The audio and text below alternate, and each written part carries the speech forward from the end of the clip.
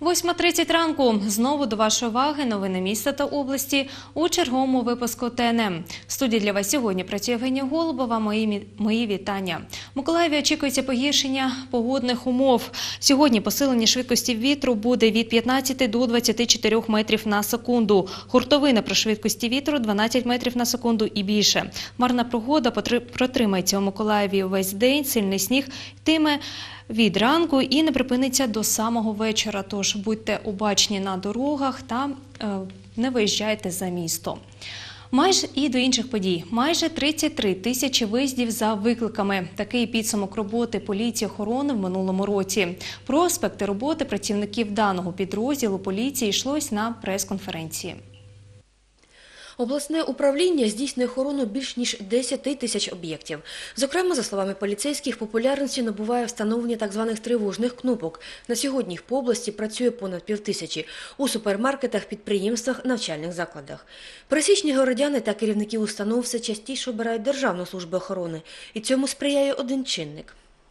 Поліція охорони має е, єдиний орган, який має право затримувати людей, які вчиняють певні правопорушення. В приватних охоронних структур немає такого права взагалі затримувати, тому що є закон України про поліцію, де регламентовано порядок дій працівників поліції е, безпосередньо поліція охорони. Про неспроможність приватних фірм протистояти грабіжникам, за словами начальника обласного управління поліції охорони, свідчить низка пограбувань ювелірних крамниць минулого року. Охорону миколаївських магазинів було довірено приватним фірмам. На виклик під час нападу приватні наряди не приїхали.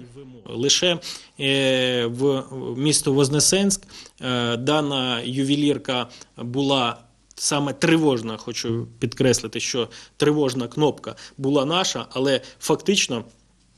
Охоронник, який там знаходився, це був е, приватної охоронної структури. Коли е, напали на ювелірку в Вознесенську, то е, наш наряд групи реагування знаходився менше 500 метрів.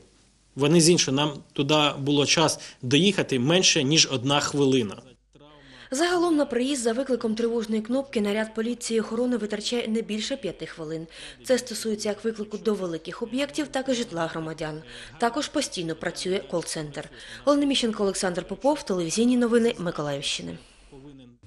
Миколаївський рятувальник Артем Вагін, обійшовши професійних підводних борців та водолазів, став чемпіоном України з акватлону. З ним спілкувались наші журналісти.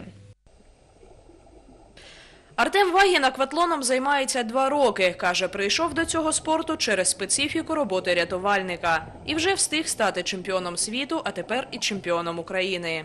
Одним із напрямок з напрямку е, рятувальної роботи це також є порятунок на воді. А оскільки е, це боротьба саме підводна, тобто, щоб боротися під водою, спочатку необхідно навчитися плавати, спочатку необхідно поводити себе під водою, побороти страх. Плавати Артем навчився, як і більшість хлопчаків в дитинстві, але каже, не любив це. Втім, зараз акватлон це частина його життя. По-перше, я з дитинства дуже не любив плавати. Не знаю, чого дуже не любив. Це мене якось е, перебороло це. Тепер Артем не тільки плаває та займається акватлоном сам, а й тренує дітей та підлітків. Мріє, що незабаром чемпіонами стануть і його вихованці.